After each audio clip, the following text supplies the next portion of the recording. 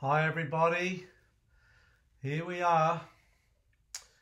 Another week, our first full week with every student back on campus. So, hallelujah, we've finally got to that stage again following all the COVID restrictions. Uh, so, really glad to have that happening and have the students back again. It was just so good to know they're enjoying each other, enjoying the playground, enjoying uh, classes, and uh, just the joy around the campus has, has been great. Um, so look, we've um, we've got all sorts of bits and pieces happening. Uh, we have um, some changes as a result of the new COVID requirements, and so what we what we have at the moment is Lynn working at home for half days. Uh, so she's working from home, and on the front desk, we have in the mornings, we have um, uh, Becca Lowe on Mondays to Wednesdays from 8.30 till 10.30. And we also have Brie Johnson on Thursdays, the same hours uh, from 8.30 to 10.30. So thank you so much to those two ladies for uh, the work you're doing to assist us through this time. Really, really great much appreciated. Um, if you call the school uh, with any questions and queries. The ladies will be able to handle it on the front desk. it alternatively will go back to Lynn Knight at home or in the afternoons it'll divert through to me. So uh, that's how we're working through uh, those changes due to COVID. We have Leah away at the moment and Emily Rowe, uh, who's finished her all her training and been trained here at school uh, under Leah. Uh, she's uh, working in the prep year one class. Uh, so that's a, a, a, real bonus for us. So thanks so much, Emily, for being a part of us. And we want to see that just, uh, just to blossom and grow. Um, now, for uh, Alison's class, back to normal, that was great because it was split in two by the jigsaw puzzle of the COVID requirements as to half a class, the year three class, could be back on certain days, and the uh, year two class back uh, on different days. Thankfully, everyone's back at school now, as mentioned before. Uh, years four to six, uh, just comments from uh, Mrs. Kane. Viv has said uh, the children seem to be very, very happy to be back. And lots of work Viv's doing uh, to bond with, uh, have the children bond with each other. Uh, she feels that the level of expectation, uh, uh, the higher standard of work, has dropped in the children's minds, and she's working again to bring that expectation up for high quality results. So.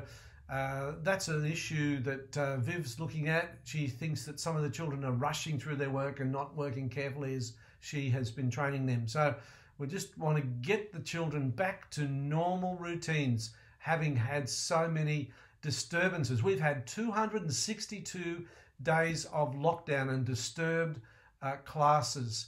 The beautiful thing I've been happy with about our school is that we've been able to maintain a constant flow of work uh, at home via the teachers and via uh, work on Canvas. So thank you very much to all of you at home and to our great staff just wonderful. Uh, talking with Jeff uh, Law uh, at the end of the day today, and he's happy. He feels that his class are, on time and on on chime and working well. So that's a good thing. So maybe as they get older into that secondary routine, uh, it's uh, the children seem to be easier to get find it easier to get back into that work. Um, so that's a good thing. Uh, look, today um, we had our final inspection of the, the new buildings.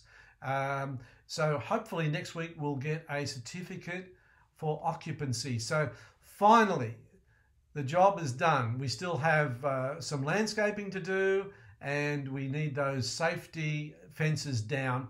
But ultimately, we have a tick in the box from the inspectors for the building. So that's really wonderful. At this point in time, uh, we're so far into the term and Christmas is coming that we're looking at really at, at probably not upsetting the campus by lifting up classes and moving them to new buildings. We'll keep everything steady and stable. Um, and uh, so we'll be looking at occupying those new classrooms as new classes for next year under Sam uh, Sam Woods, our uh, new principal. So uh, that's something to look forward to, and we just want to keep routine going. I mean, imagine further disruptions if we had to lift up classes and carry them to new locations, and people wondered where the books were, and all that sort of disturbance. So, because we're so close to the end of the year, I think that's probably the best way to go at the moment. Um, now, couple of announcements, uh, immediate announcements, is uh, we, unlike most of the schools in uh, Benalla, we have normal school Monday. Normal school on Monday. Now, the public uh, school buses are not running uh, because most of the schools are having an extended weekend, but we just think we just need to get back to work, back to school, back to lessons. So, normal school this Monday, and then, of course, the disturbance Melbourne Cup Tuesday, so Melbourne Cup holiday. So, that's a public holiday. Okay the good news, uh, week five, okay, that's coming up very quickly, running at us, quite frankly. Uh, week five, we have our photos. So just be aware of that. That will be on uh, Friday, the 5th of November. So please make sure everyone complies with the um, uniform requirements. Lynn's laid that out for you, sent notes home. So keep that uh, in mind for uh, Friday, the 5th of November.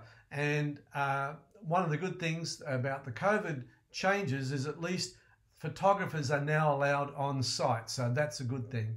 Week six coming up, and we'll give you further notices about it. We've got our prep transition from Smart Play through into the prep class. So that will be Tuesday, the 9th of November. Transition 1, Transition 2 will be the next week on the 16th of November and Transition 3 on the 23rd. So, um, so just keep those uh, dates in mind. If you have somebody in Smart Play four-year-old kinder, they'll be transitioned up. First one is Tuesday, the 9th of November. Now, Remembrance Day is Thursday in week six. That's Thursday, the 11th of the 11th. And we have students who are chosen to represent the school to lay wreaths at the uh, cenotaph. Um, we just need to work out whether it will go forward, go ahead uh, under COVID restrictions, but uh, that's we have the students chosen for that. Okay. All right, well, it's just great to be back and, and uh, school happening again. We will finish well, we'll finish strong, and we will, um, yeah, we're nearly at the end of the year. It's what a year it's been. Anyway, that's enough from me. God bless, and bye for now.